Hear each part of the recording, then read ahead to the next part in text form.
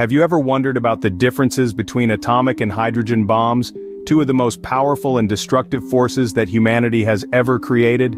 These weapons of mass destruction are not just a product of political and military strategies, but also a testament to the vast potential of scientific exploration. A clear understanding of the science behind these creations allows us to fully grasp their significance. In the early part of the 20th century, scientists unlocked the secret to harnessing the power of the atom. This knowledge paved the way for the development of the atomic bomb during World War II. A few years later, with the discovery of the hydrogen isotope, the even more destructive hydrogen bomb was created.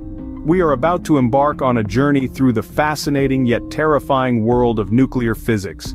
We'll explore the processes that power these bombs and the differences between them. So let's dive into the fascinating and terrifying world of nuclear physics and see what sets these two types of bombs apart.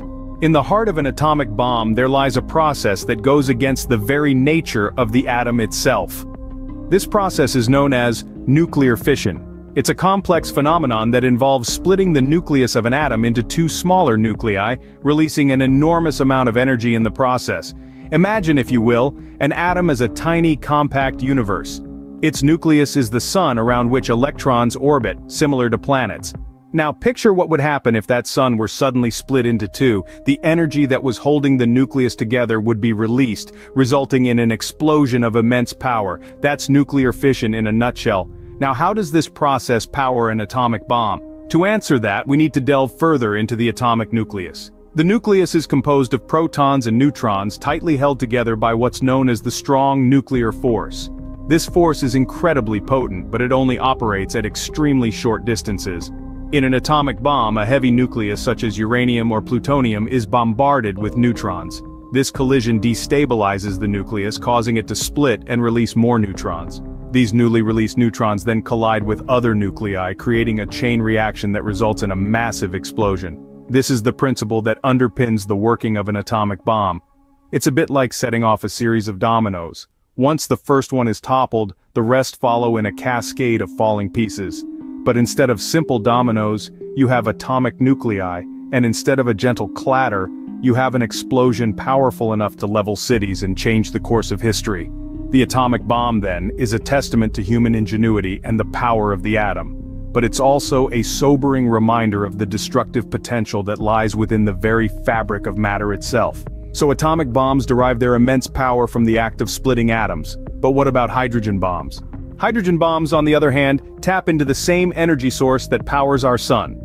Welcome to the world of nuclear fusion, the process that fuels hydrogen bombs and our very own star. Unlike nuclear fission, which splits heavy atoms, nuclear fusion is a process where two light atomic nuclei combine to form a heavier nucleus.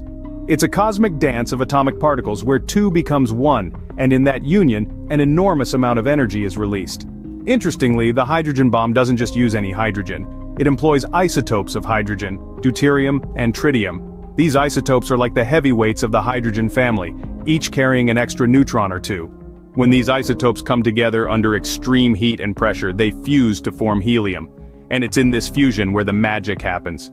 When deuterium and tritium unite they form helium but the resulting helium nucleus is lighter than the two original hydrogen isotopes. So you might wonder where did the rest of the mass go? The answer lies in the genius of Einstein's equation, E plus mc2. The missing mass is actually converted into energy, and not just any energy, a tremendous amount of it.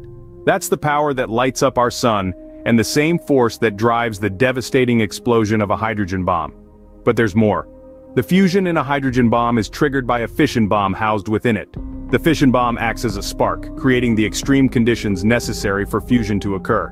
It's like a fire within a fire, a destructive force within a destructive force, amplifying power to a level that's hard to comprehend. So, while atomic bombs split atoms, hydrogen bombs merge them. But how do these different processes affect the bomb's destructive power? Let's delve deeper into that in the next scene. While both atomic and hydrogen bombs are incredibly destructive, the scale of that destruction is not equal. Let's delve into the comparative analysis of these two formidable forces. On one hand, we have the atomic bomb, the original harbinger of mass destruction. The atomic bomb operates on the principle of nuclear fission. When a neutron strikes the nucleus of an atom of the isotopes uranium-235 or plutonium-239, it causes that nucleus to split into two smaller nuclei. This process releases a tremendous amount of energy in the form of heat and light. The most famous instances of atomic bomb usage are the bombs dropped on Hiroshima and Nagasaki during World War II. The bomb dropped on Hiroshima had the destructive power equivalent to about 15,000 tons of TNT, on the other hand we have the hydrogen bomb also known as the thermonuclear bomb. The hydrogen bomb operates on the principle of nuclear fusion. In a fusion reaction, two light atomic nuclei combine to form a heavier nucleus, while releasing energy. The energy released in a fusion reaction is much greater than that in a fission reaction. The first full-scale thermonuclear test, codenamed Ivy Mike, was conducted by the United States in 1952. It had an estimated yield of 10 million tons of TNT, which is approximately 667 times more powerful than the atomic bomb dropped on Hiroshima. When we compare the destructive power of atomic and hydrogen bombs, the difference is staggering. The hydrogen bomb is far more powerful than the atomic bomb. To put this in perspective, if an atomic bomb is a hand grenade then a hydrogen bomb is the equivalent of the entire military arsenal of a small country. However, the destructive power is not the only difference between the two. There's also a significant difference in the radiation fallout. Atomic bombs leave behind substantial amounts of radioactive fallout which can contaminate large areas for many years. This is because the fission process used in atomic bombs creates a large number of highly radioactive isotopes. In contrast, hydrogen bombs produce significantly less radioactive fallout. This is because the fusion process used in hydrogen bombs does not produce any long-lived radioactive isotopes. However it's important to note that hydrogen bombs can still produce substantial amounts of radiation if they are detonated close to the ground and cause a lot of material to become irradiated. So, while both bombs are devastating, hydrogen bombs truly take the cake in terms of sheer destructive power. Both atomic and hydrogen bombs represent the immense power that humanity can harness from the atom.